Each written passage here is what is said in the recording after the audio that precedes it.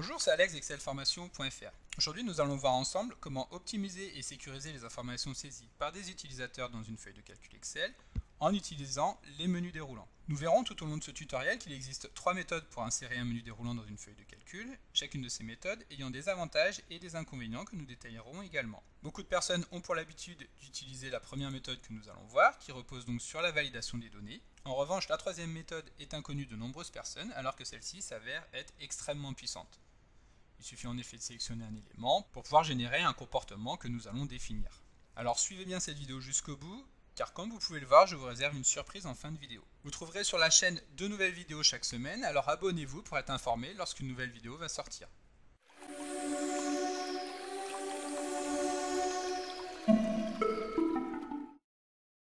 Pour illustrer ce tutoriel, nous allons partir d'un exemple très simple. Donc ici, nous disposons d'une liste de 5 pays, l'Allemagne, la Belgique, l'Espagne, la France et l'Italie et nous souhaitons pouvoir choisir l'un d'entre eux en utilisant un menu déroulant au travers de trois méthodes qui vont nous permettre de récupérer dans les cellules ici la valeur sélectionnée. Utiliser un menu déroulant va permettre de gagner de précieuses secondes car nous n'aurons pas à recopier la valeur sélectionnée, mais cela va également permettre de sécuriser la saisie en évitant toute ressaisie manuelle inutile qui sera donc une source d'erreur. Avant d'entrer dans le vif du sujet, nous allons commencer par donner des noms aux plages de cellules, ce qui va par la suite nous permettre de gagner du temps et surtout de gagner en clarté dans la création des menus déroulants. Donc nous allons créer quatre zones nommées. Tout d'abord celle-ci, donc qui correspond à la liste des pays, que nous allons appeler source. Pour créer un nom, il suffit de le saisir en haut dans la zone de nom et de valider en appuyant sur la touche entrée. Ensuite, nous allons créer ici la plage M1 puis la cellule M2 et la dernière, la cellule M3. Donc comme vous avez pu le constater à l'instant, j'ai pour habitude lorsque je crée un nom de plage de cellule d'insérer un underscore juste avant le nom. Cela n'est absolument pas obligatoire, mais cela va permettre de récupérer facilement les noms que nous venons de créer au sein des formules, en saisissant simplement un underscore. De cette manière, seuls les noms que nous avons créés vont s'afficher à l'écran. La première méthode que nous allons voir pour créer un menu déroulant va reposer sur la validation des données. Cette validation des données d'Excel permet de définir des règles strictes de contrôle de la validité des données saisies par un utilisateur au sein de cellules d'une feuille de calcul. Nous avons déjà eu l'occasion d'étudier dans le détail le fonctionnement de la validation des données dans un tutoriel précédent, dont vous retrouverez le lien dans la description de la vidéo. Cette méthode repose sur l'insertion directe du menu déroulant dans la cellule. Nous commençons donc par sélectionner la cellule, puis dans le menu Données, nous allons cliquer sur Validation des données. Puis dans cette fenêtre, nous allons choisir d'autoriser les données qui sont saisies au sein d'une liste. Attention que la case liste déroulante dans cellule soit bien cochée. Et enfin, dans la zone source, nous allons venir saisir le nom de la plage de cellule qui contient les données que nous voulons faire figurer dans le menu déroulant, précédé d'un égal. Donc la plage de données s'appelle underscore source. Nous validons en appuyant sur OK. Et donc maintenant, lorsque nous sélectionnons la cellule dans laquelle nous avons inséré notre menu déroulant, un bouton apparaît sur la droite afin de pouvoir le dérouler. Il suffit de cliquer dessus et donc nous retrouvons bien les données de notre liste d'origine. Il suffit de cliquer dessus pour insérer la valeur dans la cellule. Alors cette première méthode d'insertion d'un menu déroulant dans une feuille de calcul est très simple à mettre en place. Vous l'avez vu, elle n'a nécessité que quelques secondes. Et de plus, s'agissant d'un paramètre directement intégré dans la cellule, il suffit de copier-coller cette cellule pour que le menu soit également copié. À présent, nous allons voir la seconde méthode pour insérer un menu déroulant dans une feuille de calcul. Ici, nous allons voir comment créer un objet de type contrôle de formulaire dans la feuille de calcul afin d'y insérer un menu déroulant. Alors pour insérer un tel objet, il est nécessaire que le menu développeur soit bien présent dans le ruban Excel. Si ce n'est pas le cas, rendez-vous dans le menu Fichier, puis tout en bas dans Options, choisissez ici la rubrique Personnaliser le ruban et cochez éventuellement le menu développeur si cela n'est pas fait. Ensuite, il suffit de valider avec le bouton OK. Lorsque le menu développeur est effectivement présent, nous allons maintenant pouvoir insérer nos objets en cliquant ici dans le groupe contrôle sur le menu insérer. Nous allons choisir ici la zone de liste déroulante et le curseur prend alors la forme d'une petite croix, ce qui nous permet de dessiner le menu déroulant à l'endroit et à la forme choisie. Puis pour définir le paramétrage de ce menu déroulant, nous effectuons un clic droit sur celui-ci afin de choisir format de contrôle. La fenêtre format de contrôle s'affiche alors directement dans l'onglet contrôle ce qui va nous permettre de définir les réglages. Donc tout d'abord dans la zone plage d'entrée, nous allons définir le nom de la plage contenant les données sources, donc underscore source. Dans Cellulier, ici, nous allons définir à quel endroit nous souhaitons insérer le résultat retourné par le menu déroulant. nous allons ici devoir sélectionner une cellule de la feuille de calcul qui ne contient aucune donnée.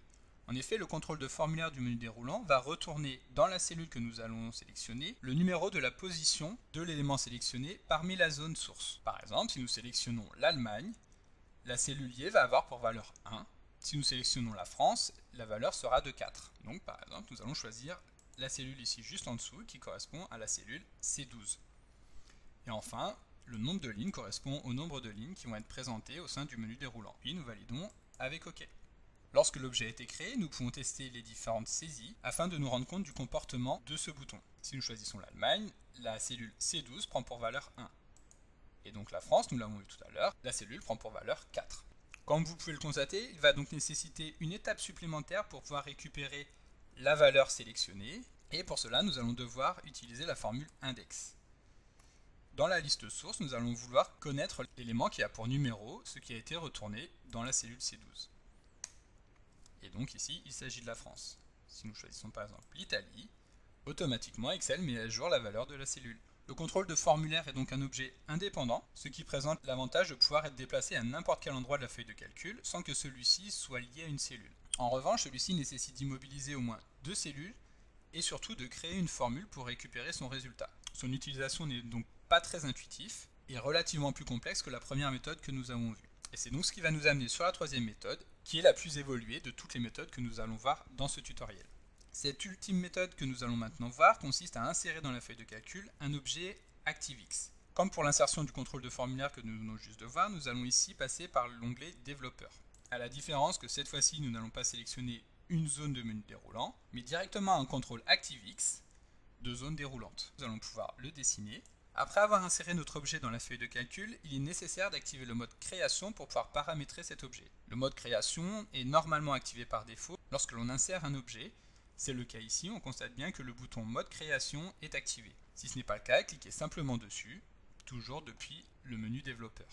Ensuite, nous allons modifier les propriétés de l'objet en sélectionnant ici le bouton propriétés. Parmi la liste de toutes les propriétés, il faut chercher celle qui nous intéresse et qui se trouve ici, donc la première propriété qui nous intéresse est la propriété linked cell. Celle-ci permet de spécifier dans quelle cellule nous souhaitons insérer le résultat sélectionné par le menu déroulant. Il s'agit donc ici de la cellule nommée M3. Le second paramètre à configurer est celui situé juste en dessous, listFillRange. Et donc ici, nous allons spécifier les cellules qui contiennent les données à afficher dans le menu déroulant. Il s'agit donc, vous l'avez deviné, de underscore source. Nous validons en appuyant sur Entrée. Puis pour tester le contrôleur, il suffit maintenant de quitter le mode création en appuyant directement sur le bouton ici présent dans le menu développeur. Maintenant, nous cliquons sur le menu déroulant et lorsque nous sélectionnons un pays, automatiquement Excel l'insère dans la cellule. Avant de nous quitter, nous allons encore voir deux points qui montrent à quel point ce contrôleur peut s'avérer être surpuissant. Le premier de ces points va être lié au comportement par défaut que va adopter l'objet. En effet, lorsque nous cliquons ici, nous allons pouvoir constater qu'il va être très simple d'ajouter des éléments qui ne sont pas prévus par défaut dans la liste source. Par exemple ici, nous allons pouvoir ajouter un pays, comme le Japon. Nous constatons alors qu'automatiquement la cellule est mise à jour pour prendre ce qui est saisi ici. Et donc si nous validons, effectivement la cellule a pour valeur Japon. Cela permet donc de saisir une donnée qui n'est pas présente dans la liste des données d'origine. Mais si au contraire nous souhaitons transformer ce contrôleur en un menu déroulant classique, il suffit donc de revenir dans le mode création, sélectionner le bouton et tout en bas chercher la propriété style. Nous constatons que par défaut celle-ci a pour propriété FM style dropdown combo et donc il suffit de sélectionner dropdown list pour adopter un comportement traditionnel. Nous quittons le mode création, puis lorsque nous cliquons, nous constatons qu'il est impossible de saisir un élément qui n'est pas prévu dans la base d'origine. De plus, et c'est l'élément essentiel qui fait toute la puissance de cet objet, il est possible d'avoir la main directement sur les macros VBA à partir de cet objet. Pour cela, il suffit de revenir à nouveau dans le mode création et de double-cliquer sur l'objet. Cela a pour effet de lancer l'outil de développement d'Excel avec l'événement ComboBox1 Change qui est automatiquement instancié. De cette manière, nous allons pouvoir saisir une macro commande. par exemple, nous allons afficher la valeur sélectionnée dans le menu déroulant. Donc avec msgbox combo box 1. Nous revenons dans la feuille de calcul il nous suffit de sélectionner un pays pour qu'Excel nous affiche un message avec celui-ci. nous pouvons bien évidemment insérer des macros un petit peu plus compliqués. Par exemple ici, nous allons copier cette macro commande afin qu'Excel nous affiche le nom de la capitale du pays sélectionné. Nous allons choisir la France, et donc la capitale de la France est Paris. La capitale de l'Allemagne est Berlin. Et voilà, cette vidéo touche maintenant à sa fin, j'espère qu'elle vous a plu. Si c'est le cas, n'hésitez pas à la liker et à me laisser un commentaire, et abonnez-vous à la chaîne pour être informé lors de la sortie de nouvelles vidéos. Vous pouvez aussi télécharger le support de ce cours sur excelformation.fr, vous trouverez le lien directement dans la description de la vidéo.